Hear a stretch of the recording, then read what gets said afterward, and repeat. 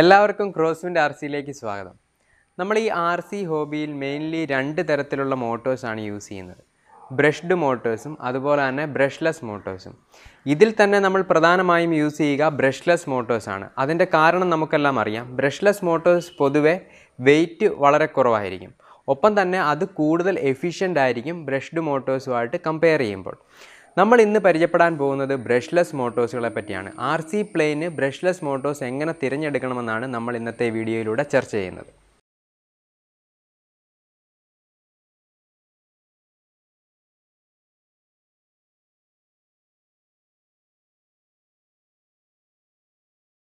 ഇതൊരു ബ്രഷ്ലെസ് മോട്ടറാണ്.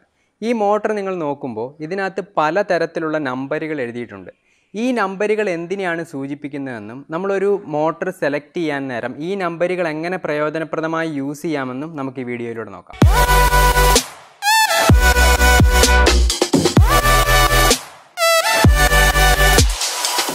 ഇപ്പോൾ നമുക്കിവിടെ പലതരത്തിലുള്ള ബ്രഷ്ലെസ് മോട്ടോഴ്സ് കാണാം. ഇതിനകത്ത് എല്ലാം നമ്മൾ നോക്കുമ്പോൾ രണ്ട് നമ്പറുകൾ കോമൺ ആയിട്ട് കാണാൻ സാധിക്കും. അതായത് എല്ലാത്തിലും രണ്ട് നമ്പറുകളുണ്ട് പക്ഷേ ഓരോ മോട്ടറിലും എഴുതിയിരിക്കുന്ന ആ നമ്പറുകൾ ഡിഫറെന്റ് ആയിരിക്കും. ഇപ്പോൾ ഈ മോട്ടർ നമ്മൾ എടുക്കുകയാണെങ്കിൽ ഇതിനകത്ത് ആദ്യത്തെ number two two one zero എന്ന നമ്പരും രണ്ടാമത്തെ നമ്പർ ആയിരത്തി ഇരുന്നൂറ്റി എഴുപത് കെ വി എന്ന ഒരു നമ്പരുമായിരിക്കും ഈ നമ്പർ എന്തൊക്കെയാണെന്നുള്ളതാണ് നമ്മൾ ഇനി ഒന്ന് നോക്കാൻ പോകുന്നത്. ഇതിനകത്തെ ആദ്യത്തെ നമ്പറിലെ ആദ്യത്തെ രണ്ടക്കങ്ങൾ അതായത് ടു ടു എന്ന രണ്ടക്കങ്ങൾ ഈ മോട്ടറിന്റെ ഡയമീ സ്റ്റേറ്റർ അതായത് ഇതിനകത്തെ കറങ്ങുന്ന ഭാഗത്തിനെ റോട്ടർ എന്നും ഫിക്സ്ഡ് ആയിട്ട് നിൽക്കുന്നതിനെ സ്റ്റേറ്റർ എന്നും പറയും. അപ്പോൾ ഇതിനകത്തുള്ള ബൈൻഡിംഗ് ഉള്ള സ്റ്റേറ്ററിന്റെ ഡയമീറ്ററിനെയാണ് ഈ ഫസ്റ്റ് രണ്ട് അക്കങ്ങൾ സൂചിപ്പിക്കുന്നത്. അതായത് ഇരുപത്തിരണ്ട് എം എം ആയിരിക്കും ഇതിന്റെ സ്റ്റേറ്ററിന്റെ ഡയമീറ്റർ ഇനി അടുത്ത രണ്ടക്കങ്ങൾ അതായത് പത്ത് വൺ സീറോ എന്നുള്ളത്. അത് നമ്മുടെ ഈ ഒരു വൈൻഡിങ് ഇതിനകത്തെ വൈൻഡിങ് സ്റ്റേറ്റർ വൈൻഡിങ്ങിന്റെ ആ ഒരെണ്ണത്തിന്റെ ഹൈറ്റ് ആയിരിക്കും. അതായത് ഇവിടെ പത്ത് എം എം. ഇനി നമുക്ക് പ്രധാനമായിട്ടും നമ്മൾ നോക്കേണ്ടത് ആയിരത്തി ഇരുന്നൂറ്റി എഴുപത് കെ വി എന്ന നമ്പറാണ്. ഇതിനകത്തെ കെ വി പലരും തെറ്റിദ്ധരിക്കാറുണ്ട് കിലോ വോൾട്ട് ആണ് എന്നുള്ളത്. പക്ഷേ ഇത് കിലോ വോൾട്ട് അല്ല. ഇതൊരു വോൾട്ടേജ് കോൺസ്റ്റന്റ് ആണ് അതായത് നമ്മൾ ഈ മോട്ടറിന് ഒരു വോൾട്ട് കറണ്ട് സപ്ലൈ ചെയ്യുമ്പോൾ ഇത് ഒരു മിനിറ്റിൽ എത്ര തവണ കറങ്ങുന്നു എന്നതിന്റെ ഒരു നമ്പറാണ് ഈ കൊടുത്തിരിക്കുന്നത്. അതായത് ഒരു മിനിറ്റിൽ ഈ മോട്ടർ ആയിരത്തി തവണ റൊട്ടേറ്റ് ചെയ്യും. ഒരു വോൾട്ട് കറണ്ട് നമ്മൾ കൊടുക്കുമ്പോൾ.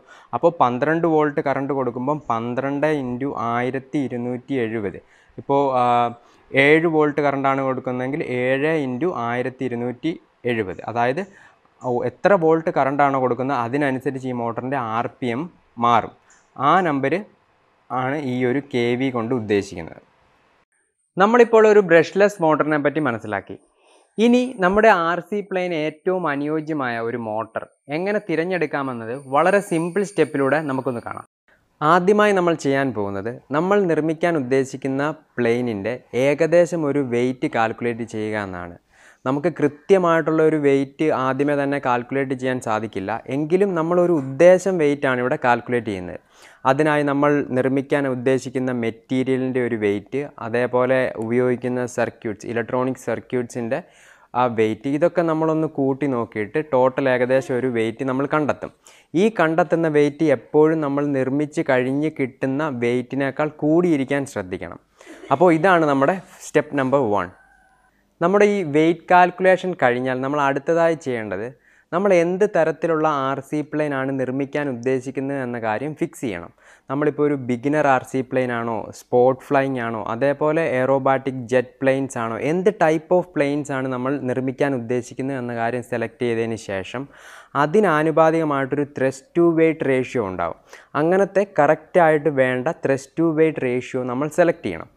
അതിനായി ഇപ്പോൾ ഒരു ബിഗിനർ പ്ലെയിൻസ് ഒക്കെയാണ് വൺ ഈസ് ടു വൺ എന്നുള്ള ത്രെസ് ടു വെയ്റ്റ് റേഷ്യോ മതിയാവും. ഇപ്പോൾ ഒരു സ്പോട്ട് ഫ്ലൈയിങ് അല്ലെങ്കിൽ കുറച്ചുകൂടെ ഫാസ്റ്റ് ഫ്ലൈയിങ് ഒക്കെ ആണെങ്കിൽ നമുക്കൊരു one point five is to one എന്നും അല്ലെങ്കിൽ കുറച്ച് ഫാസ്റ്റ് ഫ്ലൈയിങ് ജെറ്റ്സ് അല്ലെങ്കിൽ അക്രോബാറ്റിക് ത്രീ ഡി പ്ലെയിൻസ് ഒക്കെ ആണെങ്കിൽ ടു ഈസ് ടു വൺ അങ്ങനത്തെ ഒരു റേഞ്ചിലുള്ള ത്രസ് ടു വെയ്റ്റ് റേഷ്യോ നമ്മൾ സെലക്ട് ചെയ്യുന്നതാണ് നല്ലത്. അടുത്ത സ്റ്റെപ്പിൽ നമ്മൾ ചെയ്യാൻ പോകുന്നത് നമ്മളിപ്പോൾ കണ്ടെത്തിയ ഏകദേശം വെയിറ്റും നമുക്ക് വേണ്ട ത്രസ്റ്റ് ടു വെയിറ്റ് റേഷ്യോയും ഉപയോഗിച്ച് നമുക്ക് ആവശ്യമായ ത്രസ്റ്റ് എത്രയാണെന്നുള്ളത് കണ്ടെത്തുക എന്നാണ്.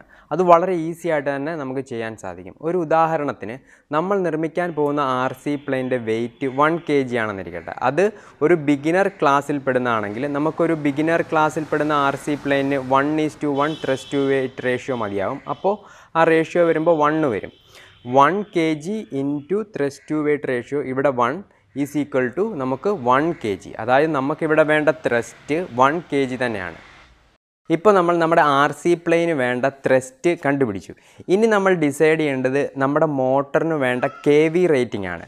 അതിനു മുമ്പായി നമ്മൾ നമ്മൾ നിർമ്മിക്കാൻ പോകുന്ന പ്ലെയിൻ ഫാസ്റ്റ് ഫ്ലൈങ് ആണോ സ്ലോ ഫ്ലൈങ് ആണോ എന്ന കാര്യം ഡിസൈഡ് ചെയ്യണം.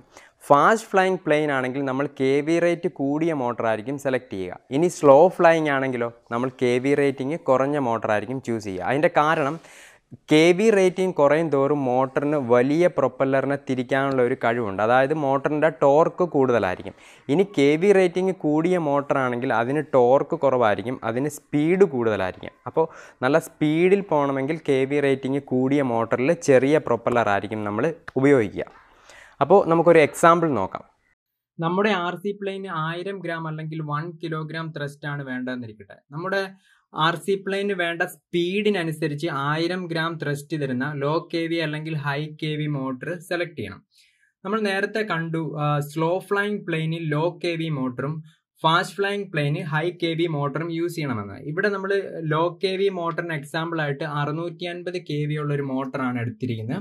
അതിന്റെ മാനുഫാക്ചേഴ്സിന്റെ സ്പെസിഫിക്കേഷൻ ഷീറ്റിൽ നോക്കുമ്പോൾ നമുക്ക് വേണ്ട ത്രസ്റ്റ് ലഭിക്കുന്ന കോമ്പിനേഷൻസ് പന്ത്രണ്ട് വോൾട്ട് സപ്ലൈ മോട്ടറിന് കൊടുക്കുകയും ഒപ്പം പന്ത്രണ്ട് ഇഞ്ച് ഡയമീറ്റർ ഉള്ള പ്രൊപ്പ് ഉപയോഗിക്കുകയും ചെയ്യുമ്പോൾ നമുക്ക് ആയിരം ഗ്രാം ത്രസ്റ്റ് കിട്ടുന്നുണ്ട്. അതല്ല എങ്കിൽ പതിനാറ് വോൾട്ട് സപ്ലൈ ചെയ്യുകയും ഒപ്പം പത്ത് ഇഞ്ച് ഡയമീറ്റർ ഉള്ള പ്രൊപ്പല്ലർ യൂസ് ചെയ്യുകയും ചെയ്യുമ്പോഴും നമുക്ക് ഈ സെയിം ത്രസ്റ്റ് ലഭിക്കുന്നുണ്ട്. അപ്പം നമ്മൾ ഇവിടെ നോട്ട് ചെയ്യേണ്ട മറ്റൊരു കാര്യം കൂടുതൽ വോൾട്ടേജ് നമ്മൾ മോട്ടറിന് കൊടുക്കുമ്പോൾ നമുക്ക് ഈ സെയിം ത്രസ്റ്റ് കിട്ടാൻ കുറഞ്ഞ ഡയമീറ്ററിലുള്ള പ്രൊപ്പല്ലർ യൂസ് ചെയ്താൽ മതിയാവും. ഇനി ഫാസ്റ്റ് ഫ്ലൈങ് പ്ലെയിൻ ആണ് നമുക്ക് വേണ്ടതെങ്കിൽ ഹൈ കെ വി മോട്ടർ വേണം നമ്മൾ യൂസ് ചെയ്യാൻ. ഇവിടെ എക്സാമ്പിൾ ആയിട്ട് എടുത്തിരിക്കുന്നത് രണ്ടായിരത്തി മുന്നൂറ് കെ വി ഉള്ള മോട്ടറാണ് അതിന്റെ സ്പെസിഫിക്കേഷൻ ഷീറ്റ് നോക്കുമ്പോൾ ആയിരം കെ വി ത്രസ്റ്റ് ആയിരം ഗ്രാം ത്രസ്റ്റ് കിട്ടാൻ വേണ്ടി നമ്മൾ പതിനാറ് വോൾട്ട് മോട്ടറിന് സപ്ലൈ ചെയ്യുകയും ഒപ്പം അഞ്ച് ഇഞ്ച് ഡയമീറ്റർ ഉള്ള പ്രൊപ്പല്ലർ യൂസ് ചെയ്യുകയും ചെയ്താൽ മതിയാവും. അപ്പോൾ നമ്മൾ ഈ രണ്ട് കോമ്പിനേഷൻസ് നോക്കുമ്പോൾ ലോ കെ വി മോട്ടറിൽ ഡയമീറ്റർ കൂടിയ പ്രൊപ്പല്ലറാണ് നമ്മൾ യൂസ് ചെയ്യുന്നത്. ഹൈ കെ വി മോട്ടറിൽ ഡയമീറ്റർ കുറഞ്ഞ പ്രൊപ്പല്ലറാണ് യൂസ് ചെയ്യുന്നത്. അപ്പോൾ നമ്മൾ വേറൊരു കാര്യം കൂടെ ഇതിനകത്തുനിന്ന് മനസ്സിലാക്കാം. ഹൈ കെ വി മോട്ടർ കൂടുതൽ പവർ കൺസ്യൂം ചെയ്താൽ മാത്രമേ low K V motor produce ചെയ്യുന്ന സെയിം ത്രസ്റ്റ് പ്രൊഡ്യൂസ് ചെയ്യാൻ സാധിക്കുകയുള്ളൂ. മിക്ക മോട്ടോർ മാനുഫാക്ചേഴ്സും അവരുടെ മോട്ടോർ പ്രൊഡ്യൂസ് ചെയ്യുന്ന ത്രസ്റ്റ് വാല്യൂ അവരുടെ സ്പെസിഫിക്കേഷൻ ഷീറ്റിൽ കൊടുത്തിട്ടുണ്ടായിരിക്കും. ഓരോ പ്രൊപ്പല്ലർ അതേപോലെ വോൾട്ടേജ് കോമ്പിനേഷനിൽ ഈ മോട്ടർ പ്രൊഡ്യൂസ് ചെയ്യുന്ന ത്രസ്റ്റ് വാല്യൂ ഡിഫറെന്റ് ആയിരിക്കും. അപ്പം നമുക്ക് വേണ്ട കോമ്പിനേഷൻസ് നമുക്ക് ഈ സ്പെസിഫിക്കേഷൻ ഷീറ്റ് നോക്കി കണ്ടെത്താവുന്നതാണ്. ഇനി ചില മാനുഫാക്ചേഴ്സ് ഡയറക്റ്റ് ആയിട്ട് ത്രസ്റ്റ് വാല്യൂ കൊടുത്തിട്ടുണ്ടായിരിക്കില്ല. അങ്ങനത്തെ കേസിൽ മോട്ടറിന്റെ പവർ കൊടുത്തിട്ടുണ്ടായിരിക്കും. വാട്ടിലുള്ള മോട്ടറിന്റെ പവർ എത്രയാണെന്ന് നമ്മുടെ സ്പെസിഫിക്കേഷൻ ഷീറ്റിൽ കാണും. അതുപയോഗിച്ച് നമുക്ക് വേണ്ട മോട്ടർ നമുക്ക് സെലക്ട് ചെയ്യാൻ സാധിക്കും.